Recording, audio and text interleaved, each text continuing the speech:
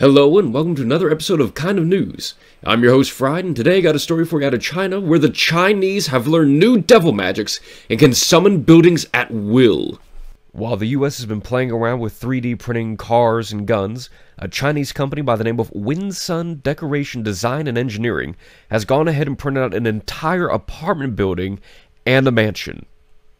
Last year, the company was able to gain a lot of notoriety when they were able to print out 10 houses in just under 24 hours.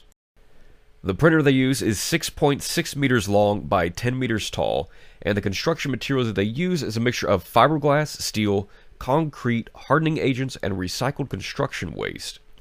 The building is, of course, printed out in sections and then assembled on site. With people like the Egyptian government buying these things up 20,000 at a time, the popularity of these houses will probably increase over the next few years. So, what do you guys think? If you had the opportunity to get a hold of one of these buildings at about a third of the cost of a traditional building, would you get it or would you rather wait for a little while until you can find out more about the long term durability of these buildings? Feel free to comment down below and hit the like button. As always, I'm Fryd, and I'm out.